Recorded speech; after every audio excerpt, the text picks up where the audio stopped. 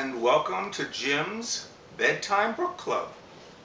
Today's book, Skye Sparkler by Kim M. Metzberger. Let's call it Metz. Let's, let's call it Metzger.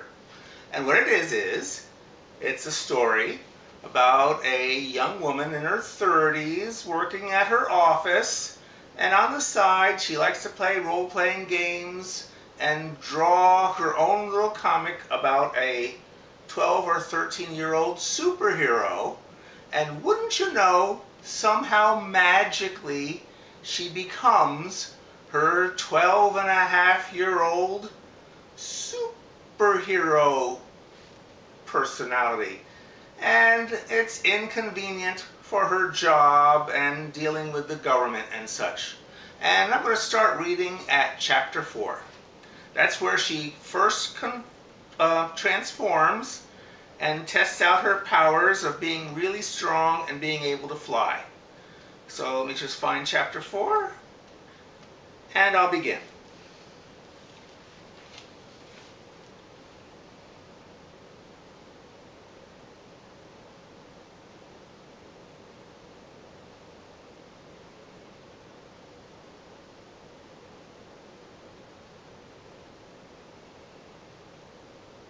Uh, let me work on the light here.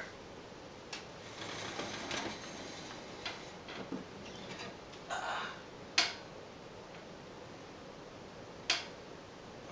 it's not getting it done, sorry. Hang on. Uh,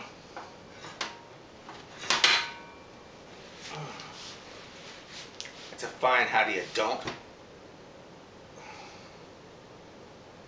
Let me start over.